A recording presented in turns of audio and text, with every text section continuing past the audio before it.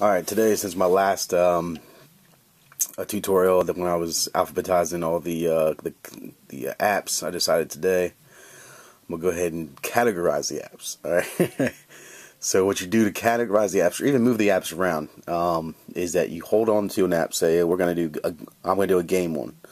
So find a game here. This is uh, Doodle Jump. We're gonna hold down on it. Alright is they're going to kind of like sit there and shake like this, and then pop up the X's. With with the X's, you can delete them off, or you can move them around wherever you want. So you can move it, you can move it around from wherever you want to, or whatever. All right, now do a category is you just take one and you put it into another one. It comes with the black box. All right.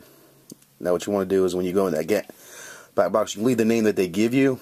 That if if you if you put two of them together, they come up with a name like entertainment or uh, utilities or anything like that. They come into games you just click the outside the box to go back in and um, just go from there really. Um, there's other ones I guess you can do like uh, like camera stuff or whatever so daily so DailyBooth or whatever so like camera things whatever. You can just really do anything really um, just quick ones. Here's some sports ones. Put them together some sports ones right there. Um,